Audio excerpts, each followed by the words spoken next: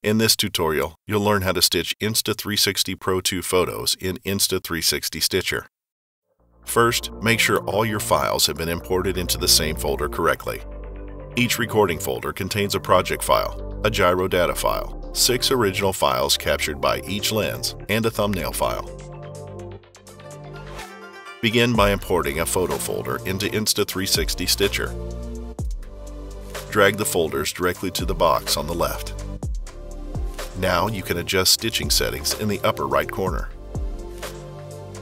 Select the desired content type. Select the stitching mode. New optical flow is recommended for most situations, providing a good mix of stitching speed and quality. If you're unsatisfied with the final stitch of complex scenes, try optical flow instead.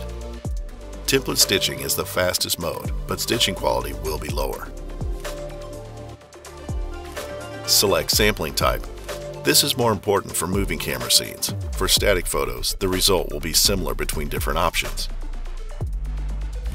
Blender type is usually automatically chosen based on your computer configuration. Click to preview stitching effect. You can adjust the horizon, angle of view, and make simple color corrections. The Zenith Optimization function can optimize stitching at the top of the image. This is particularly helpful when there are objects above your camera, such as tree branches or ceilings. Drag the image in the preview window to change the angle of the view. You can also turn on the grid at the bottom.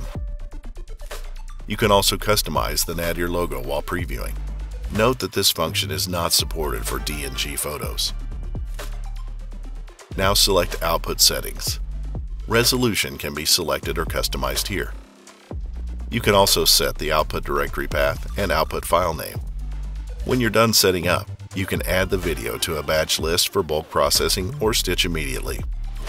Progress is shown in the taskbar. After stitching is complete, you can open the folder to view the stitched photos.